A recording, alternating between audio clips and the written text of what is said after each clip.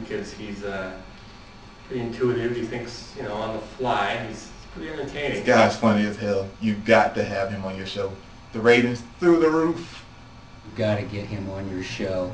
He would be the best character ever. Not only is he the funniest man on the planet, but he would be the greatest character to ever step foot on Survivor. I would think that Mike McNulty would be, make an absolute survivor. Manipulative, right? Well, I, I did, that is what comes to my mind. Competitive. Mike is incredibly strong-willed, and he is very witty and very manipulative, and I have never seen anybody beat him at a game of will. Hmm.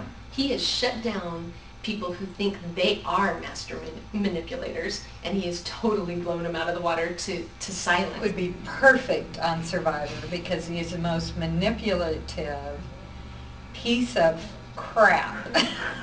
As I have never seen him not be able to get out of a jam, cause a jam, or get his way no matter what happens. I think I could be a great character. I think I'd be a lot of fun. I think I'd be something you guys haven't seen. I'm uh, I'm extremely funny. My sense of humor is uh, one of my biggest traits.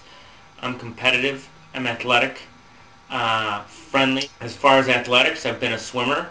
I've been a diver. I've participated in track, run cross country. For the last seven years, I've done um, the Hood to Coast, which is the world's largest um, team relay event. Uh, I've worked construction. I do my own home remodel stuff. I'm in landscaping.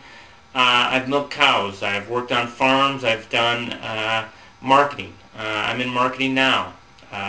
Part of my marketing position is to is to negotiate with people. I've hunted. I've fished. Like I said, I'm talented. I cut my own hair, so I know how to do that. One of the most unique characters that you've ever had. All my talents. I think my creativity, my sense of humor, my friendliness, uh, my negotiating skills.